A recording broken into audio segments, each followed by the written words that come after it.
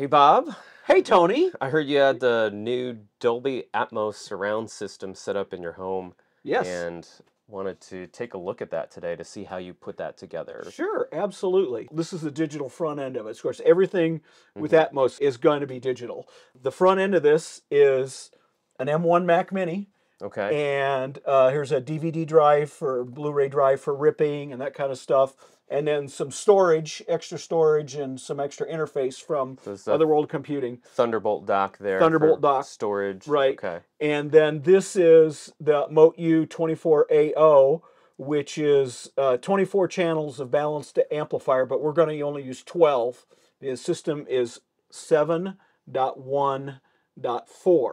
And the dot 4 is what confuses people. So 7.1 is like a surround system. There's seven speakers around the floor, Mm-hmm. two in the front, one in the center, left and right sides, left and right rears. The dot 1, of course, is a subwoofer. Okay. And the dot 4 is four in-ceiling speakers for the verticals. That's the big thing that Atmos does is it it creates wh- what I call a snow globe in your house or that that bubble by giving you the the vertical height speakers. So and sometimes they have them they reflect up off this thing. In this case, we actually have the speakers actually in the ceiling. So And is that the only way to do Dolby Atmos? Is to do the 7.1.4? Or are Absolutely not. flavors? Okay. Absolutely not. So you can do 5.1.2, 7.1.2, 9.1.6, all the way up to somewhere in the neighborhood of 50 channels because Atmos is what we call object oriented audio. And so it can scale up and down in software to know exactly what the system is. This system is programmed for 7.1.4 because that's what my system is. We actually decode it at 7.1.4 and save the files as 7.1.4. Or in the case of playing from Apple Music, it will output Atmos from the desktop. Now, it's not lossless, but it'll output it from the desktop, which is really nice instead of having to have your phone hooked up. This display here is basically for demonstration and work. Normally, I have the display on my iPad, which is over at the listening position. So we actually control it with a piece of hardware and software called the Luna display on the iPad. So some of these sound Okay. bars can do a pseudo Atmos thing where they bounce sound around and things like that. Not as good as you know the individual speakers and amplification, Because but your room needs to be calibrated and Right. it needs to do a lot of processing to figure out how to bounce the sound off your ceiling and your walls to get that Right. surround effect. And one of the things that's completely different about my system Mm-hmm. that we built here is this isn't a video system. There is no video in this. This is audio So it's only. not a home theater. It's right? not a home It's theater. Just for listening Just to for listening to Dolby spatial audio music. Right. And so one of the things that's missing here is somewhere in, in the neighborhood of you know two or three thousand dollars worth of to get a good surround processor. Mhm. Okay, we don't use that in this system. We use software that plays music on the Mac. We use the 12 channels of uh, digital analog converter here, and then we go a little further on. The DAC goes into a power amplifier for the 11 channels, and then of course the subwoofer has its own power. Tell me about how you were able to set up all the different speakers in the Mac. the Mac actually has a piece of software called Audio MIDI Setup. It allows you to configure the speakers as necessary. So I say my system is 7.1.4 Atmos and it shows an isometric graph of where all the speakers are. And the 12 channels are programmed appropriately for Apple Music, where they call it spatial audio, which is a form of Atmos to play to a 12 channel system.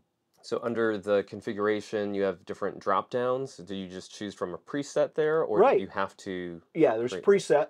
Oh, so, I see. so they have Atmos 5.1.2, 5.1.4, 7.1.2, 7.1.4, which is mine, and then they added this in the latest OS is 9.1.6. It also has some other types of just surround sound or just stereo. But in this case, the hardware here is configured for 7.1.4. That's 75% of the configuration for the Mac. And what are the different views that you could do? Okay, so here's a top view.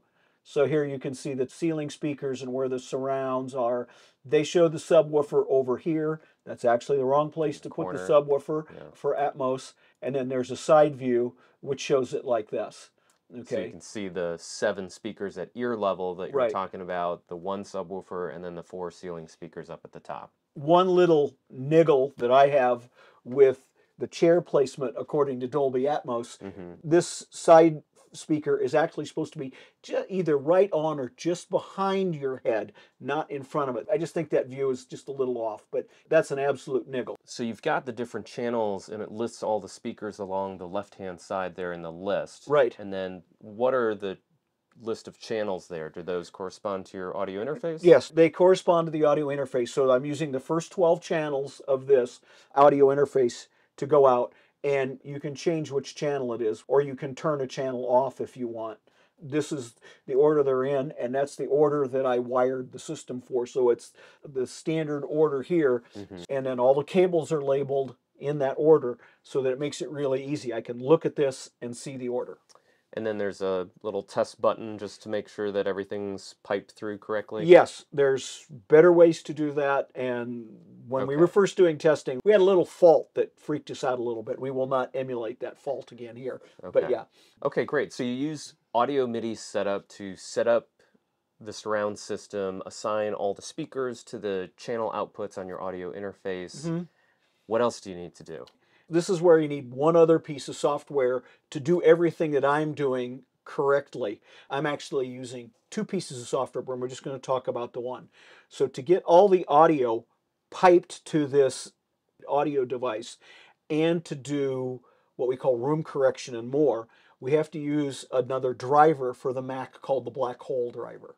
And so Black Hole is a free piece of software and it creates a device that I can then pipe audio through. So, it's Black Hole creates a virtual audio device that Correct. you could. It has an input and it has an output, and it just allows you to route audio. I, I can route audio anywhere I want, and the Black Hole driver is actually very easy to use.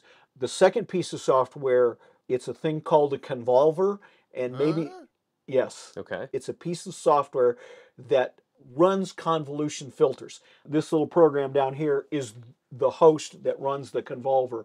And so here it's set up and you can see the audio inputs and audio outputs. So the input comes down from the input and if we look at the IO, the output is this piece of hardware and the input to this is the black hole 16 channel. That's the inputs and outputs. So that's the thing that lets me put this piece of software in the middle that does the all the HL. yes hang loose Convolver. Right. Okay, And that's a VST3 plugin. It it's like. it absolutely is a VST plugin. So let's talk about these corrections and what exactly are you correcting for? Are you correcting for time-based anomalies, frequency-based? This is where the magic of digital signal processing comes in. It's hmm. it's really amazing. We measured the system in place, a measurement microphone and a piece of software called Audiolense XO. It plays the audio out to each one of the speakers and runs a sweep sound Sine wave sweep? yeah, it sweeps from from zero hertz to 45 kilohertz. I think is the way we said it. Maybe it was only 25, but anyway, from basically from DC to past what we can normally hear. The microphone is placed vertically right where your head is Mhm. in where the speakers are located because it's really important because one of the things you talked about is time-based correction. That software then records each channel, saves a file which shows what the playback from the speakers looks like, each one in turn. And you can overlay them on top of each other. And, and then an expert looks at that data and then processes it and makes these convolution filters that do basically seven things. So the first thing, it looks at the speaker and looks at the output of the speaker and says, you know, that speaker's crossover is down a little bit here, or it's a little high over here. So the first thing it does is it helps correct and make that speaker output more flat. So Okay. it corrects the frequency response of the speaker. So right. if you're going from 80 hertz up to 20 kilohertz, it tries to add EQ or cut it. It builds a multi-filter tap. It's actually there's 65,000 taps per channel. What's a tap? It's a place where it looks to make a change. So Okay. 65,000 times. 65,000 little wedges that it can Okay. look across the audio spectrum. 65,000 different measurement points along the frequency spectrum. Right, Is what it's looking Right. at. We also tell the system where the speaker's cutoff is, the minus 3 dB points on the speaker, so high frequency and low frequencies. So it knows the speaker's not going to put anything out below 40 hertz or it's not going to put anything out below 80 hertz. In the case of these emit 50s that are the front channels here, Dynaudio emit 50s, they basically cut off at about 80 hertz. So we actually tell the digital signal processor, don't put any frequencies below 80 hertz to that. So it's called bass offloading. All the speakers have different levels where they don't work as well. So we offload that bass and we're going to send that bass to the subwoofer. And for the subwoofer, we do exactly the opposite, right? The subwoofer can't go above 200 hertz or of 500 hertz or whatever it is. We don't send anything to the subwoofer that would cause the subwoofer to distort or whatever. So basically, it's a high pass filter for the main speakers and a low, Low pass, pass filter filter, for for the, the subs. subwoofer, and that's Right. how it does the And, crossover. and that and it, so Is the- that crossover adjustable? Like, can you pick it? filter designer can pick the crossover. So in my system, it's 80 hertz for the big speakers and 40 hertz for all the rest because that's 40 hertz is about where they all cut off. They're a little bit either way. Sure. And and we have only done two passes at this, getting it aligned. So that. a person has to go in, look at the measurements, and actually create filters Right. that correct for it. right. So it's and not a fully automated process. no, this is a manual process, absolutely manual. And How long does it take? Mitch has been doing this for 20 years, and Well, I- you haven't been setting this room up for 20 years. No, right now, but Mitch has been doing this work for 20 years, and he turned my filters around to me in about four hours. And I don't know how much of that time was him working or whatever, but he turns it around pretty fast. So it takes him a couple of days to get it in. Of course, he can't hear my system, Sure. right? But he can, He can look at the it. measurements. He can yeah. see the measurements. He can look at it, and he can create the filters. So you've got some correction filters that go in for every single channel. You've got 12 channels of Right. audio here. Each one has its own Has its correction filter. Right. The one other thing that it does is it corrects, you mentioned before, for timing. So each speaker is a different distance. The DSP can actually adjust and delay so that all the speakers, the first instance of a wave, comes to your ears at the same time. Right. And it corrects for that. Yeah. That's a big deal. It is a big deal because I think the speed of sound, it travels at about, in one millisecond, about one foot, Right. right? So if your speaker placement is off just a little bit, you can hear a slight difference there. And if you hear the same signal delayed by a millisecond, you sort of hear it as a spread out a little bit wider in the stereo field. It is amazing when you're at the train station and Yeah. the train goes by and you hear that Doppler effect and all that, or you're out walking and the owl hoots off to the side or whatever, how well the human brain and ear can like zero in on Right. that thing. And that's all timing. Uh, Because our ears are not 12 inches apart, that's less than that. So that Right. means we can tell the difference at least between a one millisecond difference in arrival time, if not a- a lot finer. Uh, apparently, a trained ear can actually get down into the six to seven microsecond range of differentials. yeah. Well, up to 20 kilohertz. up to right? 20 kil So uh, up to for- yeah we're not bats that timing differential is something that really hurts us, the sound in your room and so now when this thing is playing back it goes through this convolver filter there's 12 channels 32 bits deep so it's a 32 bit sample Is that what the source audio is? No, no, that's the filter. That's okay. that's the the filter is processing it in uh, 32 at, thir- bit at 32 precision. bit true hd atmos which is the lossless atmos Mm-hmm. that you can get off of a blu-ray for example or off of some digital files that you can start to download now which are starting to come out that is 48 kilohertz sample rate and 24-bit word length so there are 12 channels of 65 536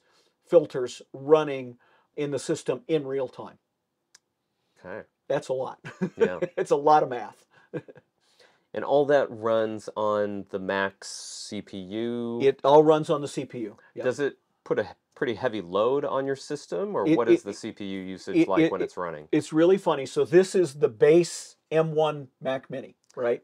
Which is pretty fast. uh, Which yeah. is darn fast. And so when I'm doing a screen recording, which has got the, the screen recording software, I'm playing in Apple Music and I put up Activity Monitor. Mhm. Okay, so Activity Monitor is two or three percent, screen recording is another three or four percent, and playing back 12 channels. The Mac Mini is running somewhere between 12 and 13% total use. Software playback, the convolution filters, and the other things running. And I've done nothing else. I mean, uh, Yeah. you know, messages is running in the background or whatever.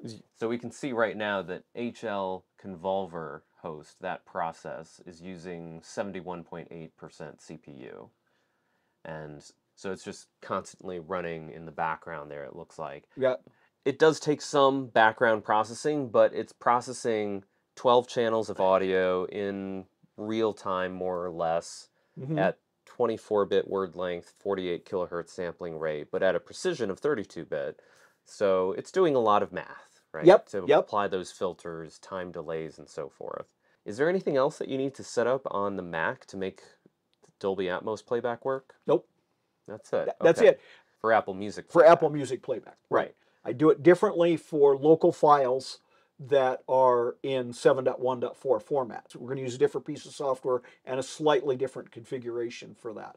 The music app can't play those other local it files. It will not play those. It will only play the lossy files that they have on the, The streaming the Dolby streaming. Atmos. Right. It only audio. plays those. Right. And so Apple Music is sending the Dolby Atmos sound to Black Hole, Right. and then the HL Convolver app is actually taking the Black Hole audio output, processing, applying all these convolution filters to it, and then that is going to your Motu audio interface. And How did you have to wire this up to your speakers from the audio interface? Okay. So there's a bunch of wires out the back of this. There's a, a wire for every channel. It's a balanced output. Mm-hmm. So it's got two wires, a plus going wire and a negative going wire and a ground.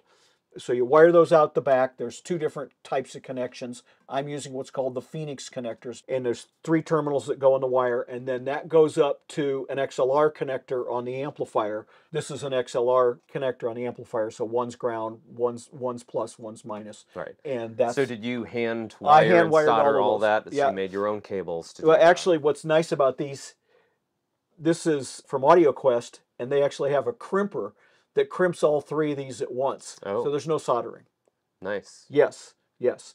You better make sure the wires are in there when you crimp because you basically got one shot. Right. So it's a little, it's a little awkward.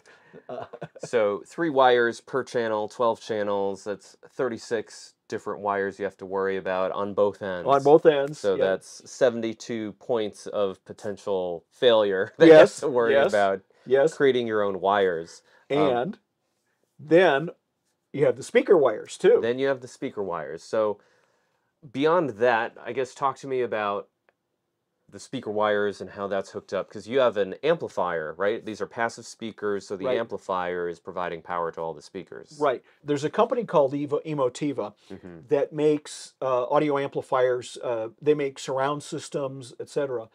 They make a cabinet which you can configure with different amplifier modules in it. So the cabinet I have is the 11 channel cabinet. So there's three single channel modules and four two channel modules. And the three single channel modules are for the left, right, center that needs the most power. And then the other four modules go to the left and right surround, left and right rear, the two front ceiling, and the two rear ceiling. Okay. Okay. So it's a modular amplifier chassis, and you Right. can pick to have higher powered channels for the mains, the fronts, eh, basically, right. and then lower power amplifiers for the surrounds and ceiling. A- And typically, there is still more information and more power requirements on the front channels. Still, that's typically where m- much Right. of the audio is coming to you from. Just But- like if you go to a show, you're going to face the stage. You're not going to put your back to the stage, right? Right. Where the sound is coming Right. from. But artists now can do something that's completely different that they've never been able to do before. Well, they've been able to do it, but not to the level to it. We are ingrained with stereo and somewhat mono sound where it, it comes as it. But now the artist can present sounds to you from anywhere they want. You can be immersed in the music, like Absolutely. sitting in the orchestra with Or- musicians surrounding you. Or sitting in the middle of the rainstorm with the train going behind you, Sure. or Yeah, or can create whatever. this whole immersive yeah, sound stage. Yeah, that's the new buzzword, right? Is immersive audio. Yeah. that is absolutely fascinating. And the other thing that has started to happen in 1972, hmm Aretha Franklin did this lovely album of her singing in a church. Okay. And some, and I don't know what the tapes were, and I don't know who remixed it, but somebody remixed it in Atmos. And we'll get your reaction to listening to that uh, in Atmos a little later on and, and see what happens. But somebody took those tapes and remixed it into Atmos so that it sounds like you were there.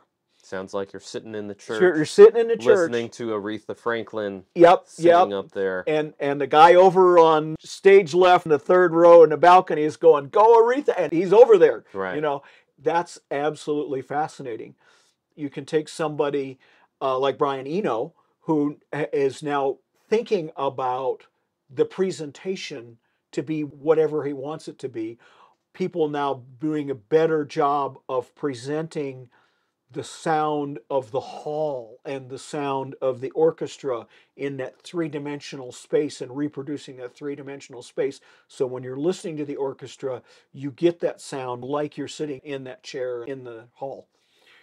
At engineering time, they can pick where you want to sit. And some people like front row center. I like row I, okay, just kind of halfway up in the back because then you you get a little bit more of everything. So it would be interesting if someday we could have that so you could say put me at E3 you Mhm. know that kind of stuff. Can't do that yet, but I th- I think those those kinds of things are coming. Or I want to stand where the maestro's standing and hear the orchestra behind me or whatever. It'd just be fascinating to see what we can do with that. So there's lots of possibilities. Right. So what drove you to do all this, Bob? We've had a surround TV system upstairs, just a real simple sound bar and a couple of speakers. And I enjoy that a lot.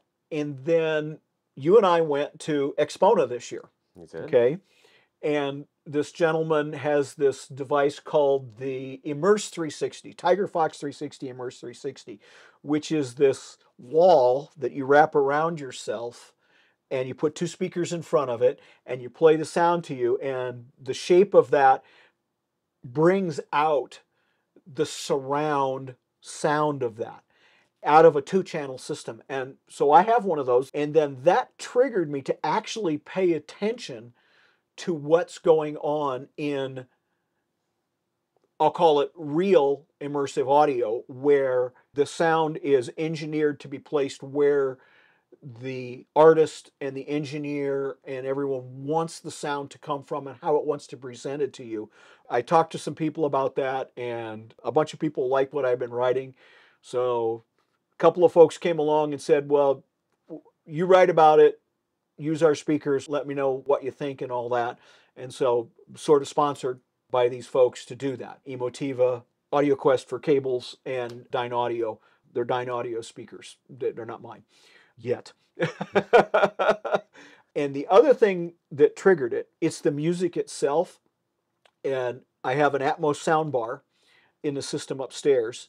And the Berlin Philharmonic now broadcasts their concerts live and recorded Mhm. in Atmos over the internet. So now I can listen to the Berlin Philharmonic and watch the Berlin Philharmonic like I'm sitting in their hall In the Berl- concert hall. in a concert hall in my family room in central Illinois and they're in Germany. Wow. it's all and it's all about the music for me. It really is about the music. The technology behind this, you know, everybody goes, "Oh, this is complicated." No, it's not. It's just some extra speakers. It's It's just, just it's a just few more extra, speakers. It's a few right? more speakers. You oh, and the space. You don't need 12 speakers, right? You could set it up with fewer channels. Right, um, absolutely. or even more now, right? Or even more. or or you could build Now- a room and put 30 speakers in.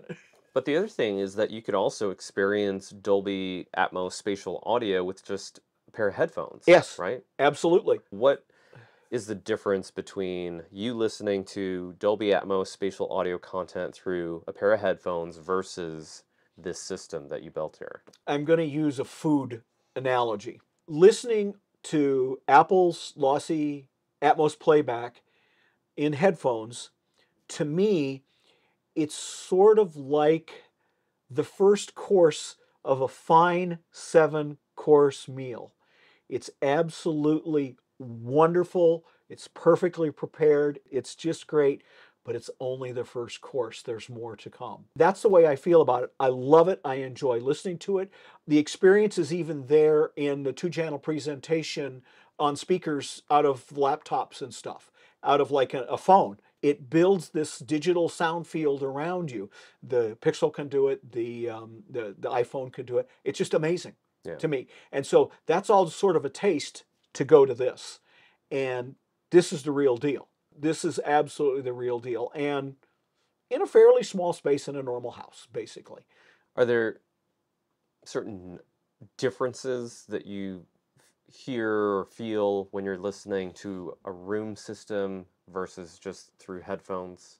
Yeah, specifically the bass, the lower end frequencies are much more impactful. Right. Uh, Because you uh, actually feel it you in actually your you actually feel it a little bit more in your Mhm. body where things come from different places around is much better defined it's significantly better but yet the experience in headphones is still very very good Yeah. i wouldn't give it up okay it's wonderful but if i want to go to the next level the next level is something like a good sound bar that will do some of it or something like um, a system that we've built here and I don't need video down here. This isn't for watching movies and Yeah. you know having the jet fly over. So you've talked about lossless Dolby Atmos Correct. files. How do you get those? Currently, there's there are two ways. You have a Blu-ray, and the audio is on the Blu-ray. Is this a Blu-ray movie, or do they actually sell audio on? They Blu-ray actually sell. They used to have like DVD audio. You remember that maybe? Mhm. These are audio Blu-rays that you can purchase, and then the files are delivered on an audio Blu-ray. And they Are they hard to find, or are Uh, they local few and far between. Okay. Uh, there's a couple of sources on the internet of people starting to sell more and more of them. I've got one coming, which is a new release that'll be here in a month or so. So you can't really walk into a store and browse a whole bunch of Blu-ray audio discs. Not currently, no. Okay. I have the feeling that'll come along uh, over time. There's a lot of these box sets of Mm-hmm. music that people have produced in the past few years, and some of them have Blu-ray audio. It seems like we're taking a big step back as far as technology goes. Are there any streaming services that offer lossless? Not lossless. It's all lossy because you have to stuff 12 channels of 24-bit, 48 kilohertz data down the wire, Mhm. and that's a little hard on streaming services currently. Two channel you can do. You can do the lossy stuff very well. No issues with lossy stuff. They're doing that to phones. That works very, very well. So even if you're not streaming, could you even download a lossless file? Not yet. There are two or three companies that are starting to, to deliver files that way. Mhm. And it's not all Dolby Atmos. There's Auro-3D. There's a couple of others out there. We're just using Atmos because it has the advantage that more of that is available on the Blu-ray formats. They can encode it in one of several different systems. So it's a little bit of Sony Betamax versus VHS right now. There's a little bit of that. So this is in its infancy. It's new. Yeah.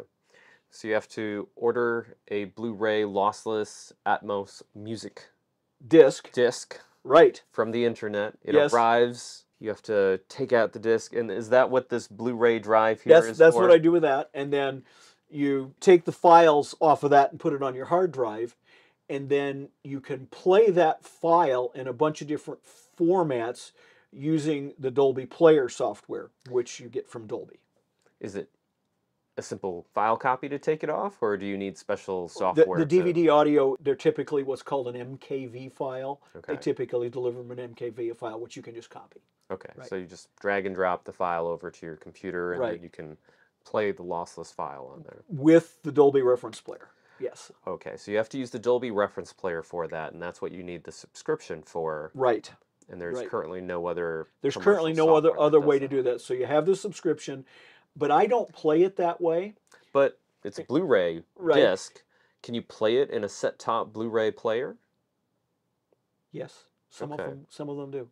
The key to it is is that it has to have the Dolby decoder hardware or software in whatever's playing it back. Right. So in this case, it's an application running on the Mac. Okay. So drag and drop, you have some player software on there, and then it goes through the whole convoluter filters Yep, and everything. yep, can do that absolutely, and it's the same thing. Since it's playing the Mac, I run it through Black Hole and do that. It's called mm-hmm. Dolby Reference Player, it's meant to use in a studio. So you can say, I have my speaker output that I want right now is 7.1.4.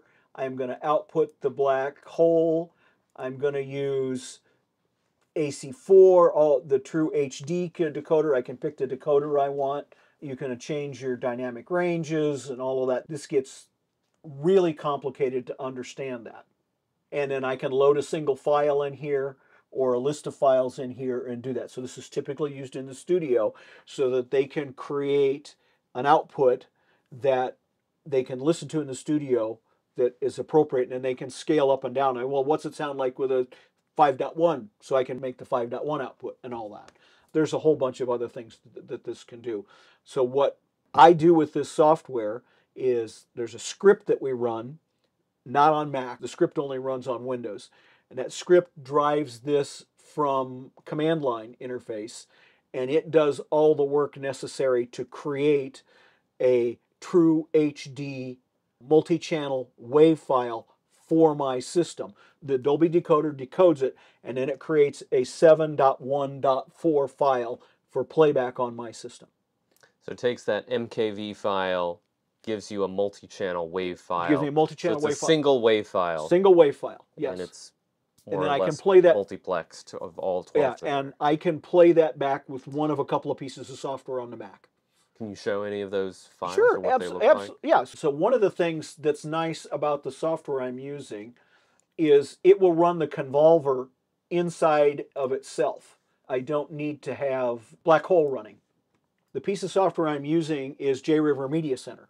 Been around for a very, very long time.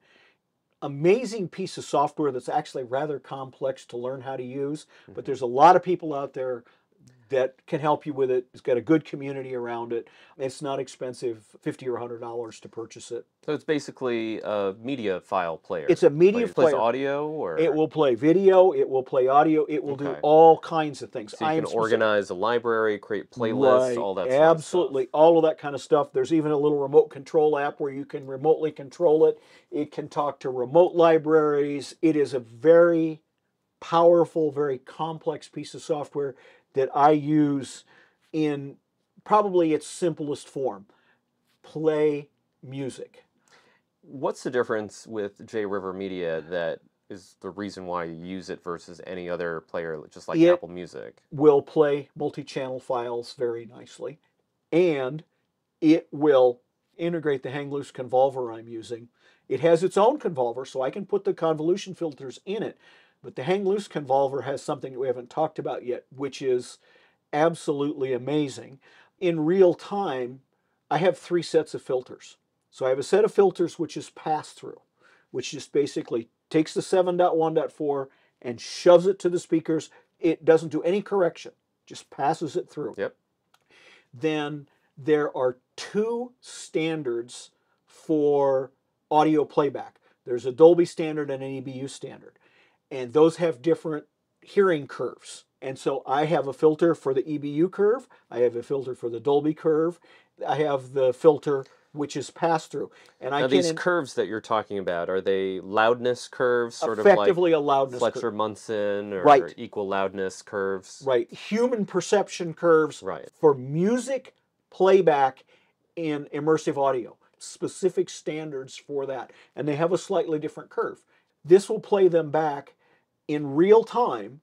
I can A B in real time with Mitch's convolver, with hang loose convolver, between those three. Push a button, pass through, push a button. It's instantaneous. So this convolver. So you can hear the effect of what the filter is doing to your audio to Absolutely. correct. No switching cables or shutting down, no delays or anything. In order to do that, it's running 16 channels of EBU, 16 channels of Dolby, and 16 channels of pass through at the same time. The levels fairly well matched, not perfectly matched yet, Yeah. because as you know, if it's a little louder, it sounds better. It's a little Right. louder, it sounds better. And so I don't have it perfect yet Right. because the convolver takes about 5 dB. Takes about 5 dB off of the signal. It Okay. really does take a lot off. JRiver Media Center is Right. what you use to play all of your Mm. MKV files that you've basically decoded decoded to WAV files.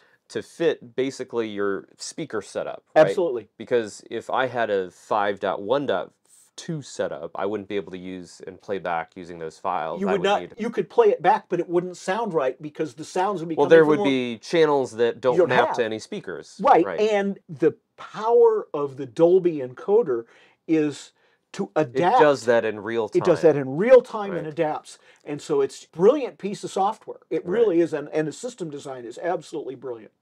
And so that decoder must also be built into other players like streaming services like Apple Music, Right, it is. where it can decode based on your speaker setup that we saw in audio MIDI setup. Right. Apple does not include the True HD decoder in their operating system.